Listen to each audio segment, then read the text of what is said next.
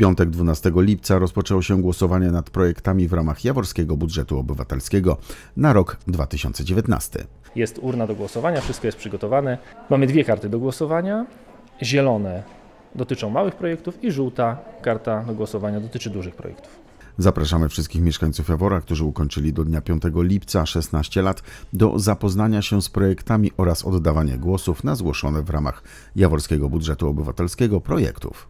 Każdy jaworzanin uprawniony do głosowania, zamieszkały na terenie gminy Jawor, będzie mógł oddać dwa głosy: jeden na projekt mały oraz jeden na duży projekt. Serdecznie zapraszamy do wzięcia udziału w głosowaniu.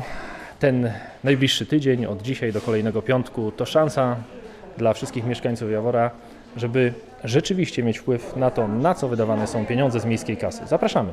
W kategorii Mały Projekt znajdujemy strefę odpoczynku i zabawy przy przedszkolu publicznym nr 4 z oddziałami zamiejscowymi przy ulicy Dmowskiego, projekt nr 2 Wybieg dla psów Psi Raj, projekt nr 3 Modernizacja komina w Zamku Piastowskim, projekt nr 4 Progi zwalniające na drogach wewnętrznych osiedla Przyrzecze, projekt nr 5 Sąsiedzka strefa aktywności fizycznej, projekt nr 6 Plenerowa strefa integracji na osiedlu metalowców, montaż zewnętrznego stołu do gry w tenisa stołowego, stołu do gry w piłkarzyki wraz z ławkami, projekt nr 7 Sala terapii dla seniorów. Kategorii duży projekt znajdujemy. Spacerem w przeszłość, ścieżka historyczno-edukacyjna przy osiedlu słowiańskim w Jaworze, projekt numer 2 z parkingu samochodowego do przedszkola Bezpieczna Droga Malucha, projekt numer 3 rozbudowa placu zabaw na Przyrzeczu, projekt numer 4 uporządkowanie wnętrza międzyblokowego ograniczonego ulicami Grunwaldzką, Zamkową, Szkolną i Kościelną w Jaworze oraz projekt numer 5 ławeczka przyjaźni.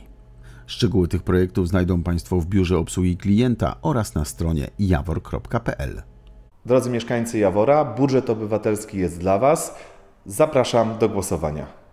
Głosować można w formie papierowej w biurze obsługi klienta Urzędu Miejskiego w Jaworze oraz w formie elektronicznej. I tu uwaga, poprzez konto profilu zaufanego.